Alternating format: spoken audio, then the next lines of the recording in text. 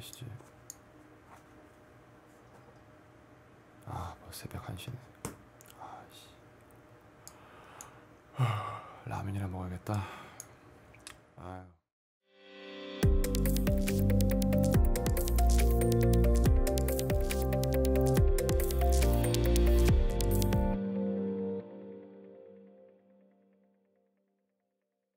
올라 아토입니다 반갑습니다. 구독자 여러분이 보내주신 이 DM이나 메일을 보면 그 중에 정말 이게 왜 궁금할까 싶은 내용을 보내는 경우가 많습니다. 뭐 궁금한 분들이야 그 마음 오죽하겠습니까? 많은. 그런데 정말 좀 이상한 건 좀 궁금해하지 좀 마세요. 저도 궁금한 건 못 참고 한 번씩은 뭐 이렇게 확인하고 뭐 이렇게 합니다만 아 어쨌든 오늘 컨텐츠는 아토즈 실험실입니다. 메일 내용을 하나 제가 보여드릴게요 여기다가. 아니 사실 메일 제목이 아토님 라면 드실래요 라길래 저는 아 힘든 살림에 라면이라도 한 박스 보내주시려나 보다 싶어서 봤어요.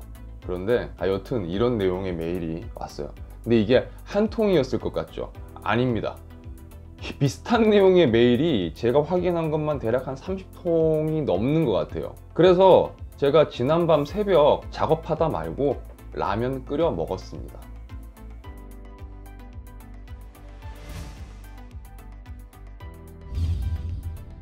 아, 준비물입니다. 일단 가스레인지 대신에 이 CPU 레인지가 되어줄 메인보드랑 CPU가 필요하겠죠. 뭐 또 화면도 봐야 되니까 모니터도 챙기겠습니다. CPU가 돌아가면서 열을 내려면 그래도 PC는 켜야 하니까 그래픽 카드도 챙기고요. 아 그리고 제일 중요한 거. 전기도 공급해야 되니까 파워도 챙기겠습니다. 그래도 이왕이면 구색은 또 맞춰야 하는데 인터넷도 되면 좋으니까 예, 무선 와이파이 모듈도 챙기고요. 이제 키보드 챙기고 마우스 챙기고. 네. 그리고 이제 라면을 끓여 먹을 냄비가 필요한데 냄비는 크기를 고려해서 땅콩 먹고 남은 깡통으로 제가 하겠습니다. 라면이 필요하고 뭐 이양 라면 먹을 거 달걀도 하나 있으면 좋겠죠. 우선 깡통에 물을 적당히 넣고 건더기 스프도 넣고 라면 스프도 넣는데 이게 라면은 다 들어갈 수가 없으니까 스프도 한 3분의 1? 반? 하여튼 여튼 그 정도 넣고요.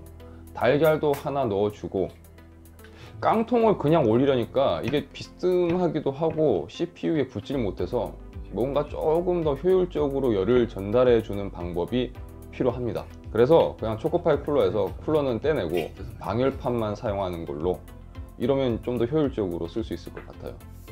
이제 물을 끓여야 하는데 CPU 레인지를 켜야 되겠죠.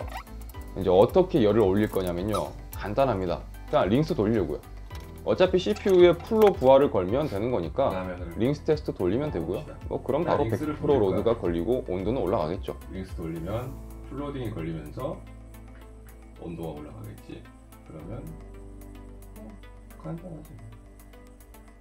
어쨌든 지금 링스를 돌려서 CPU의 부하를 양껏 주고 있거든요 CPU 온도 계속 올라가겠지 왜? 당연히 어차피 쿨러가 없으니까 지금 88도, 89도 올라가는데 그러면 올라간 열은 어디로 가느냐? 당연히 방열판에서 다 받고 있겠지.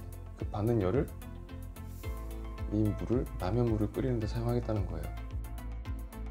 아 드디어 100도를 찍었어요. 열이 팍팍 올라오는데. 여기 솔직히 이게 계속 올라가면 좀 곤란한데 열 발산을 해줄 수 있는 정도의 수준이 이제 100도 선에서 좀 빼줘야 되는데 여기서 열이 더 들어가 버리면 라면 한번 먹겠다고 하다가 테스트하는 저 시스템을 그냥 날려 먹을 수도 있기 때문에 아직까지 뭐가 이렇게 끓을 것 같은 느낌은 안 들어요. 그냥 그냥 라면 쓱 국물이야. 아 라면 먹고 싶어. 배고파. 그런데 방열판만 있지만 방열판이 발산해주는 열도 있잖아요. 딱 그 선에서 버텨주는 쿨링이 100도 정도인 것 같아요. 방열판에 손을 대보니까 어우 뜨거워 뜨거워. 굉장히 뜨거운데 이게 깡통이 바닥하고 닿는 면적이 좀 넓어야 되는데 그게 안 돼서 열 전도율이 좀 떨어지는 것 같기도 하고. 아 이대로 해가지고는 좀 끓이기 힘들겠다는 생각이 들어서 그릇을 다른 걸로 좀 바꿔서 열 전도를 좀 높여줘야 될 것 같은데. 한 1시간 정도 기다린 것 같습니다. 그런데 아, 조금 더 기다려 볼게요. 이제 한 2시간 정도 기다린 것 같은데 일단 제가 보기에는요 이거 안 끓어요. 그냥 딱 이대로 뭐 어떤 느낌이냐면 딱 그냥 slow cooker? 네, slow cooker랑 똑같아요. 이 온도 이상 올라가기 힘들 것 같아요. 그런데 라면은 지금 넣으면 어떻게든 조리는 될 것 같거든요. 이 라면 넣고 조금 더 기다려 보기로 하겠습니다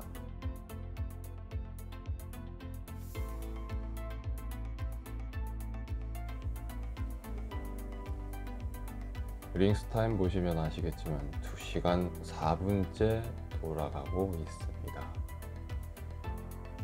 온도는 계속 100도고요. 그 말은 뭐냐면 제가 2시간째 라면을 끓이고 있다는 얘기예요. 안 끓어. 물이 안 끓어요. 근데 라면을 먹을 수는 있어요. 이제 먹을 때가 됐어요. 2시간이 걸렸으니까. 라면 끓이는데 2시간이야. 한 2시간 좀 더 넘게 걸렸네요. 지금 시간이 새벽 3시가 지났는데 제 인생에서 정말 가장 오래 기다리는 음식이고 그런데 그게 하필이면 라면이라니. 일단 익기는 익은 것 같아요. 맛있게 먹겠습니다. 솔직히 배고파서 죽을 것 같으니까.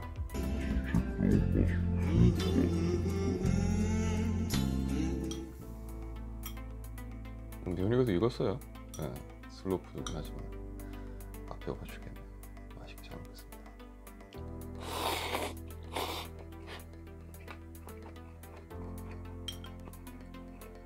음, 어, 면이 익었어.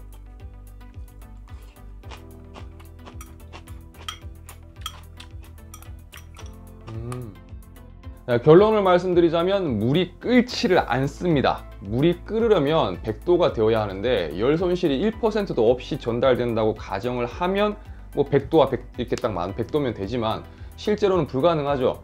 열원의 온도가 100도가 훨씬 넘어야 한다는 건데 아무리 CPU를 제가 갈군다고 해도 별도의 작업을 통해서 이제 뭐 부가적인 작업을 하지 않는 이상은 딱 시스템상에서 활용할 수 있는 방법으로는 물을 끓이기는 힘듭니다.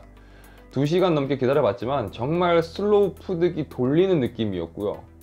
덕분에 늘 3분도 길다고 최단 시간 고집하면서 끓여 먹었던 라면이었는데 그 새벽에 예, 배고파 죽을 것 같은데 2시간 기다려서 라면 그것도 반 개를 예, 덕분에 정말 정말 맛있게 먹었습니다.